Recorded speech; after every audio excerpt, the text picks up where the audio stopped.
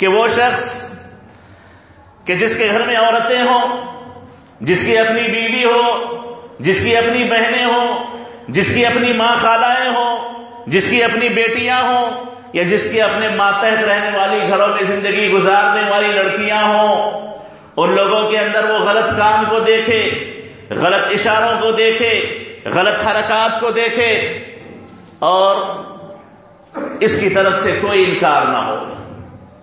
غور کرنے کا یہاں پر یہ مقام ہے کہ ولا تذر واضرت الوزرا اخرا کہ اسلام کا قاعدہ یہ ہے کہ کسی ایک کا گناہ کسی دوسرے سر پہ ڈالا نہیں جاتا، کسی ایک کا گناہ کسی اور کے سر پہ ڈالا نہیں جاتا۔ اگر کوئی عورت بگڑی ہوئی ہو، اگر کسی عورت میں خرابی ہو، وہ بدچلن ہو، اس کی عادات و اتوار میں فحاشی ہو، بے پردگی سے گھومنے والی ہو پردے کا کوئی اس کو پاس و لحاظ نہ ہو، وہ ذمہ دار ہے۔ وہ ذمہ دار ہے۔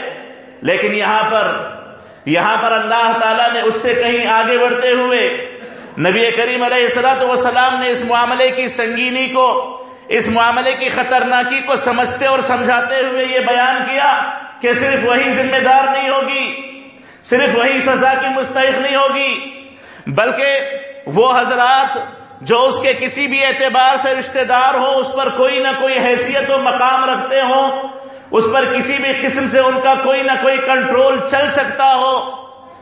ان کے تعلق سے نبی کریم علیہ السلاۃ والسلام کہتے ہیں کہ ایسے لوگ بھی جنت نہیں جائیں گے۔ ایسا پر بھی اللہ تعالیٰ نے جنت حرام کر دی ہے۔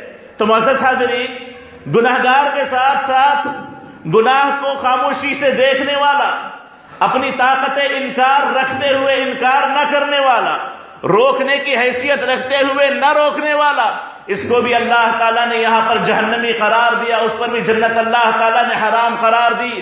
تو اس سے یہ پتا چلتا ہے کہ مسئلہ آسان نہیں ہے۔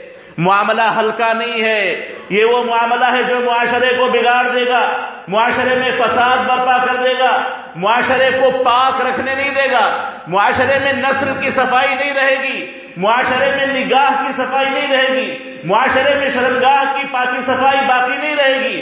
کئی گناہ اس سے پنپیں گے۔ کئی نافرمانیاں اس سے پنپیں گی۔ امت کو کئی قسم کے نحوستوں کو اس سے دیکھنا پڑے گا۔ اس وجہ سے اور اس جیسے مختلف وجوہات کی بنیاد پر اللہ تعالیٰ نے ذمہ دار کو بھی ساتھ میں گھسیٹا ہے اور بہت بہت بڑی سخت سزا اللہ تعالیٰ نے یہاں پر سنائی ہے۔ مزہ حاضرین ادیوسیہ کیا ہے؟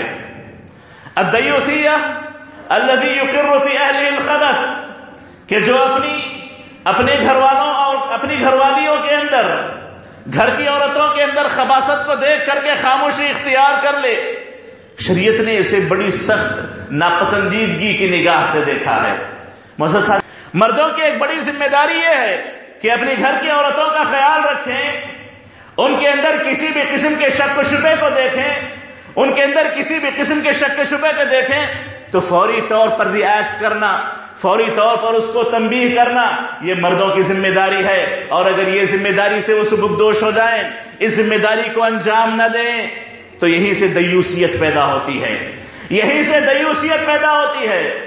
محسوس حاضرین، نبی کریم علیہ السلط وسلام کہتے ہیں کہ مرد کے اندر ایک غیرت ہوتی ہے عورتوں کو لے کر کے، کہ میری بیوی کو کوئی نہ دیکھے، میری بہن پر کوئی نظر نہ اٹھائے، میری ماں کو کوئی نہ دیکھے، میری گھر کی عورتوں پر کوئی نظر نہ ڈالے۔ یہ غیرت اللہ نے طبیعتوں میں رکھی ہے۔ یہ غیرت اللہ نے طبیعتوں میں رکھی ہے۔ تو مزہ غیرت یہ ہے کہ جہاں پر کسی مرد کو شک ہو کہ یہاں معاملہ کچھ پیچیدہ ہے، یہاں تعلقات میں کوئی خرابی ہے، یہاں کوئی مسئلہ پنپ رہا ہے، یہاں سے کوئی فتنہ اٹھ سکتا ہے، یہاں پر کسی چیز کی خرابی پیدا ہو سکتی ہے، تو وہاں پر نوٹ کرنا اور فوری ایکشن لینا اور اپنی عورتوں کی عزتوں کی حفاظت پر نظر رکھنا، ان کی تنبیہ کرنا، یہ ہر مسلمان کی غیرت کا ایک حصہ ہے۔ ہر مسلمان مرد کی غیرت کا ایک حصہ ہے اور اللہ کو یہ بڑا پسند ہے۔ اللہ کو یہ بڑا پسند ہے۔ ان من الغیرت ما يحب اللہ۔ اللہ کے نبی کہتے ہیں کہ غیرتیں ایسی ہیں جو اللہ کو بڑی پسند ہیں۔ اور وہیں پر مختصر انداز میں یہ بھی کہہ دوں کہ خامہ خواہ شک و شبہ کرنا، وسوسوں کو اپنے دلوں میں پالنا، اپنی پاک باز بیویوں، اپنے گھر کی عورتوں پر شک و شبہ کرنا، یہ بھی اللہ کو ناپسند ہے۔ یہ بھی اللہ کو ناپسند ہے۔ عدل و انصاف چاہیے۔ عدل و انصاف چاہیے۔ اپنے گھر والوں پر اعتماد چاہیے۔ ان دونوں کے درمیان وہ مرد کی غیرت ہوتی ہے کہ جہاں پر وہ معاملات کو بھانپ لیتا ہے اور بڑے افسوس کے ساتھ یہاں پر عورتوں کی مثال، چاہے وہ عمر کی جس دہلیز کو کیوں نہ پہنچ گئی ہو تجربے کے جس مرحلے کو کیوں نہ پہنچ گئی ہو عورتوں کی مثال مردوں کے سامنے، بھیڑیوں کے سامنے بکری جیسی ہے۔ بھیڑیوں کے سامنے بکری جیسی ہے، جس طریقے سے بھیڑیا بکری کے تاک میں رہتا ہے۔